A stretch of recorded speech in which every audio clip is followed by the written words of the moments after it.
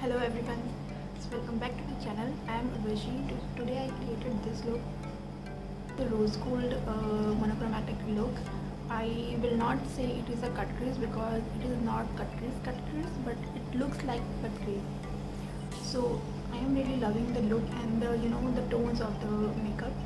So I created this look using all of the new products. I think most of the new products. I believe this is a really apt look if you are going for any um, you know wedding. Though we are not going anywhere currently but hope so. The day will come then everything will get back soon really normal. So this is the makeup therapy for me because uh, in these times i feel it is really important for everybody to do something that is their passion and also that can you know can maintain the sanity of their self. So this is my way of creativity and this is what i feel really relaxed in doing. Also guys if you are having any trouble with the background noise so i cannot help it because it is too hot here and the ac is on so i do not want it to sit in the scorching heat because in that way the makeup will not last very long. So please manage with that. I hope you do not have any kind of you know complaints with that. So guys i hope you like this video and if you do please do not forget to like subscribe and share this video with family and friends. Also hit the bell notification so that you can get to know about every single time I upload. Please let me know in the comment section below what do you think about the look or anything that you want to share with me that is also cool. So if you want to know how I created this look please continue watching so guys let's see how i achieved this look. So first of all i am icing my face to prep my skin because it is really hot here. Next up i am using plum's green tea face mist to prep my skin further. As you know in every tutorial i use this one only to prep my skin. And again i am using my holy grail moisturizer that is Pond's super light gel it contains hyaluronic acid that is really good for you know dry skin people. As usual today i'm going to start with my eyes. So i am prepping my eyelids using l'oreal's infallible concealer and i am using the shade 312 amber. And this is really nice concealer. It has full coverage and if you want to buy a new concealer then please go for it. This gives a perfect base for eyeshadow work and on top of this concealer eyeshadows pop really nicely so I am just patting the concealer using my finger only. Going ahead I am only going to set very very lightly the concealer so that it does not crease. For that I am using Maybelline's Fit Me loose powder in the shade light medium 20 so let's start the eyeshadow work. For that I have a new tapered blending brush from Wet n Wild's Pro Line brush range and I'm going to do today's eyeshadow work with this brush only and I have a new purchase from Nykaa and I'm just going to share the next video that is Nykaa haul and this one is Huda Beauty's Mercury Retrograde palette that everybody raves about it and I feel the you know hype about it. This one is really really nice eyeshadow palette and the shadows blend like dream so as you see I picked up the peachy shade to prep the crease and then I am just using the shade Karma from the palette to deepen out the outer V of my eye. So yeah. So as you already know today I am doing a rose gold peachish look. So for that I was preparing my eyelids and I really like the you know colors and the color scheme of this palette. So now I'm going to pop some shimmers from the palette. For that I use the shade Supernova from the palette. And then I am going to highlight the first half of the inner corners using this light gold shade. Next up I am using the same Karma shade to deepen out the outer V of the eye and it is not a defined cut crease but I am just giving it a soft cut crease look. So now I am just cleaning out all the fallout that I have though there was not really heavy fallout. And then I used my color corrector and this one is from Swiss Beauty in the shade warm sand and it acts as a color corrector. I only like to blend the concealers using my fingers and here i am telling you to wait for 5 minutes after applying your corrector so that they get time to settle in and did not get mixed with your concealer. So i am using again the same concealer uh, on the areas where i have you know the problematic discoloration on my face.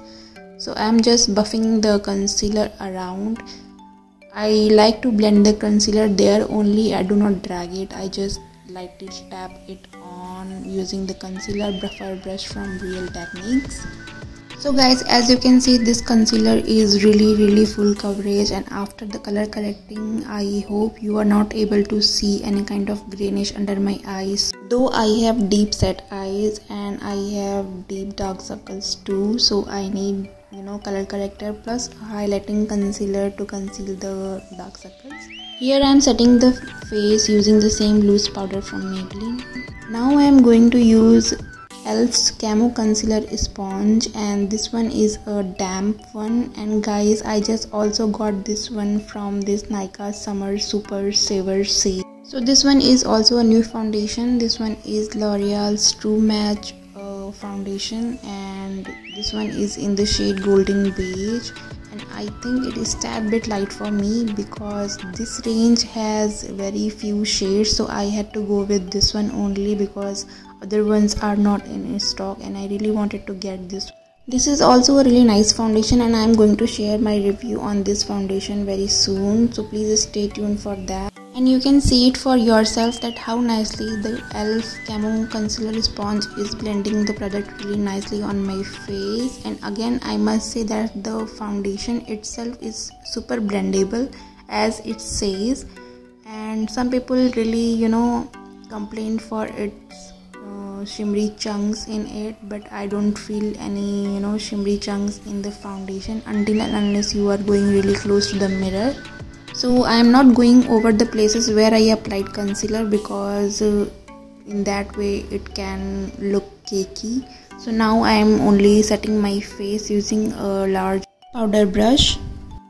Nothing new I am using the same Miniso brow definer that has three ends and I just generally use the first end that has a pencil cut in it and I just comb it through nicely to give my brows bushy look after that I am just reversing the order of the eyeshadows on my lower lash line and I am just doing that. So you can see how nicely the eyeshadows are getting blended.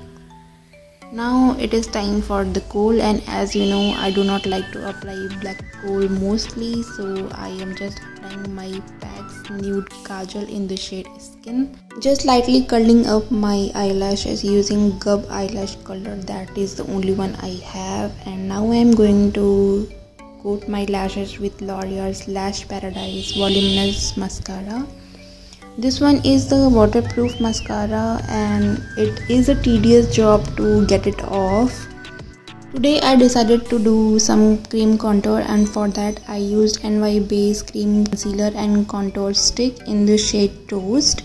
And it is really nice contour stick. If you are looking for one just pick it up because it is so so affordable and it blends like a dream. Just buffing out the edges so that it does not look harsh so i'm just taking whatever is left on my brush on my cheekbones. I do not took any extra product. So now to product contour and to fix the cream contour on its place i picked up the sugars face palette in the shade vivid victory.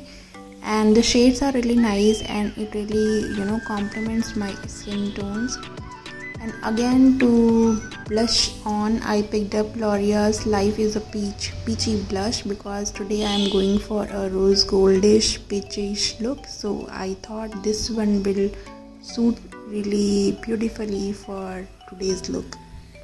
I really like to clean the contour because it does sharpen up the jawline and also clean contour look really you know flattering in pics so I thought the eyeshadow deserve a bit of pop. So for that I used Swiss Beauty Foil Loose Pigment in the shade 13 that has a really beautiful pink sheen. To stick the loose foil pigment I use the lash glue. You can also do that. So guys now you can see that the foil pigment is really popping up in the center. And now it is time to highlight and to highlight again I picked up the same face palette. And guys this highlighter is really really softly milled. And it does not have any kind of chunks in it. And it looks like really butter. And it has a you know champagne tone to it that is really complementing my skin. And nowadays I am only using this highlighter because I am only gravitating towards soft sheen and that looks like your skin but better sort of glow. To melt all of the powderiness, I picked up the same mist and I just lightly spread it all over and went over with using the same Beauty Camo sponge. And I picked up my Wet n Wild's Willow lip liner and I just lined up my lips and before that I highlighted my inner corners using the Super Moon shade. Today I'm not going to use any kind of falsies so I just tight lined my upper lash line so that it looks fuller. So to finish up I use concoction of two lipstick that one was Elf's Marvelous and this one is Huda Beauty's Shika. This one is a demi matte lipstick so that you do not need any separate lip gloss. Finally this is the finished look. Also please comment down below what do you think about the look or anything that you want to share with me or your feedbacks anything so I will see you in my next video. Then, take care.